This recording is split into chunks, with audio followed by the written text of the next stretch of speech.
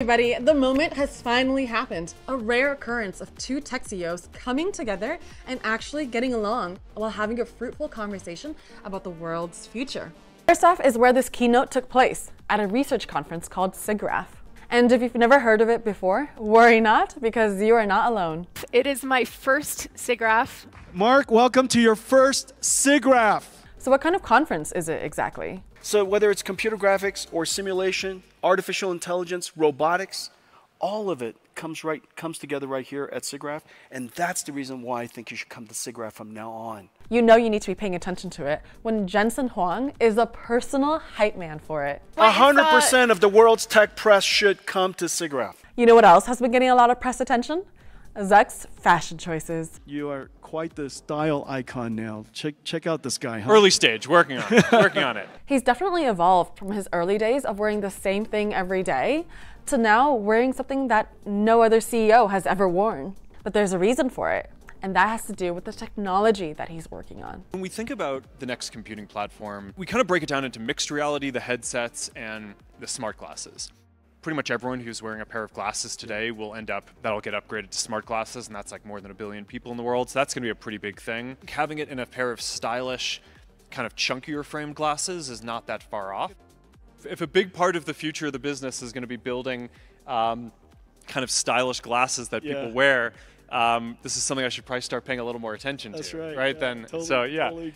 Make my way into becoming like a style Yeah. influencer so I can like influence this before um, you know before the glasses come to the market. I guess you could say he's a product of his own products. But hey, props to him for talking the talk and walking the walk.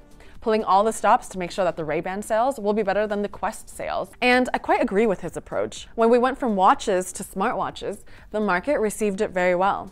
So that's a good indicator for going from glasses to smart glasses. For the AR and VR headsets that have entered the market, like the Quest and Vision Pro, They've been slow to take off, likely because it's too big of an experience leap for the user. That being said, even if Meta is first to market with the smart glasses, how they go about the software and user experience will also be key.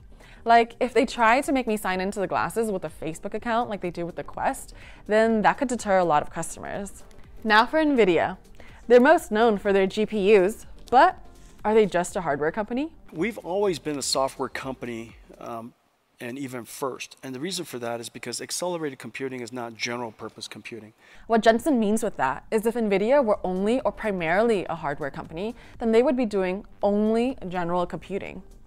But it's the fact that they do both hardware and software that they are capable of accelerated computing. NVIDIA didn't produce just GPUs, they also developed CUDA, and that is what has allowed AI to get to where it is today. And you have to design an accelerator, you have to design the CUDA GPU so that it understands the algorithms so that it could do a good job accelerating it. By doing so, by redesigning the whole stack, we can accelerate applications 20, 40, 50 times, 100 times. For example, in the case of deep learning, over the course of the last 10 to 12 years or so, uh, we've accelerated deep learning by a million times, which is the reason why it's now possible for us to create these large language models. For context, let's look at the last decade of compute growth. Accelerated computing has 1,000x to get to 20,000 teraflops, whereas general computing would look something like this at um, 1 teraflops. And NVIDIA doesn't stop just there. So it's not just about building the accelerator. You have to build the whole stack. The full stack of the library and the architecture and the go-to-market and developers and the ecosystems around it to open up a new field. It takes a new library, we call it DSLs, domain-specific library. In generative AI, that DSL is called cuDNN. For SQL processing, uh, data frames is called cuDF. For quantum emulation, it's called cuQuantum. You know, the number of cu's uh, goes on and on. Every time we introduce a domain-specific library, it exposes accelerated computing to a new market. So, yeah, all this advanced hardware plus the whole software stack. We're a platform company. And here's the next frontier of platforms that NVIDIA is spearheading robotics. The next wave of AI after that is called physical AI. And this is, this is really, really quite extraordinary. This is where we're going to need three computers. One computer to uh, create the AI, another computer to simulate the AI, both using synthetic uh, th- for synthetic data generation, as well as a place where the AI robot, the humanoid robot or the, the manipulation robot, could go learn how to uh, refine its AI. And then, of course, the third AI is the computer that actually runs the AI. So it's a three, a, three computer problem. You know, it's a three body problem. Together, these computing platforms are empowering developers worldwide to bring us into the age of physical AI powered humanoid robots. And so, not only is robotics a new frontier, but NVIDIA is also taking care of every single step within the pipeline, within the platform, and that could continue to play very well to their advantage in the long term. And I'm going to emphasize the significance of synthetic data here.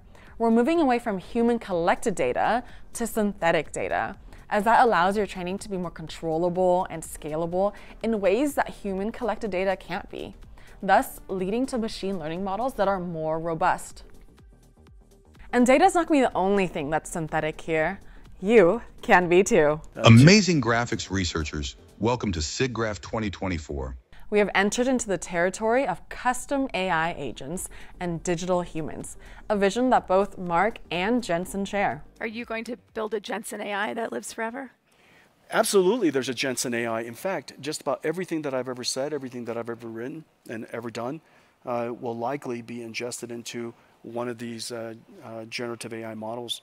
And then uh, in the future, you'll be able to prompt it and, and hopefully something smart gets said. A lot of our vision is that I don't think that there's just going to be like one AI model. We want to empower all the people who use our products to basically create agents for themselves. So whether that's you know all the many many millions of creators that are on the platform, or you know hundreds of millions of small businesses, um, we eventually want to just be able to pull in all your content and very quickly stand up a business agent and um, be able to interact with your customers and you know, do sales and customer support and all that. Uh, the concept of uh, digital uh, agents, uh, digital AIs uh, that will augment every single job in the company. Uh, everybody will have an AI that is an assistant. And so every single company, every single company, every single job within the company will have AIs that are assistants to them. our software programmers, as you so you know, now have AIs that help them program. Uh, we have AIs that help our chip designers design chips. Basically, create their own agents for all different kinds of uses. Some will be sort of customized utility, things that they're trying to get done that they want to kind of fine tune and, and train an agent for. Some of them will be entertainment or kind of have a funny attitude about things that um, we, we, probably wouldn't build into Meta AI as an assistant, but, but I think people are kind of pretty interested to see um, and interact with. That has the ability to uh, speak, make eye contact with you, um, anim animate in an empathetic way, um, and uh, uh, you could decide to connect your ChatGPT or your AI to the digital human. So the next frontier of AI models is now that we have this big general central foundation model, we'll spawn all these fine-tuned versions of it per use case, per person, per company and it'll have the ability to appear realistic too. All this sounds amazing slash scary, and rather than gatekeeping this great tech, both companies have made the technologies available to everyone. We're just starting to roll out more now. Is um, we call it AI Studio, and it basically is um, a set of tools that eventually is going to make it so that every creator can build sort of an AI version of themselves. We created this thing called an AI Foundry.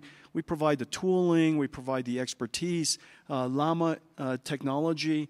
Uh, we have the ability to help them uh, turn this whole thing uh, into an AI service. And, yeah. And then when, when we're done with that, uh, they take it, they own it. We, the output of it's what we call a NIM. And this NIM, this, this Neuro Micro NVIDIA Inference Microservice, AI Foundry and NIM were actually introduced only a few months ago at NVIDIA GTC, and now they're making it publicly available already. I made a video explaining the technology stack if you want to learn more about it. As for my next video, I'll be testing out their new tools through my lens as a machine learning engineer. So if that interests you, subscribe to stay tuned for that. Now the next question is, why open source it?